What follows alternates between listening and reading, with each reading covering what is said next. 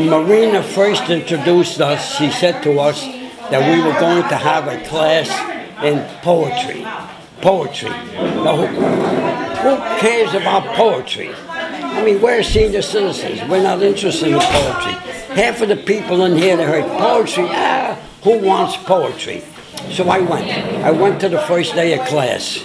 I loved it. It wasn't poetry per se, poetry. It was translating writings and translating, which was beautiful, which was right up my alley. I loved it. What page are we on? Page 26. Page 26. 26. Original poem. My wife.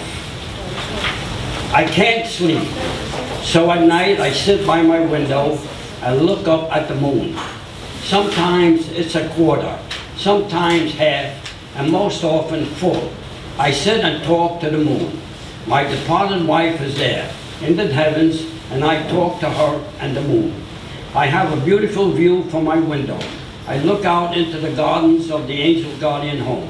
I see the spine of the Regina Pacis Church, the towers of the Verrazano Bridge, and in the distance, on a clear night, a beautiful sight, I wish my wife good night and try to go to sleep.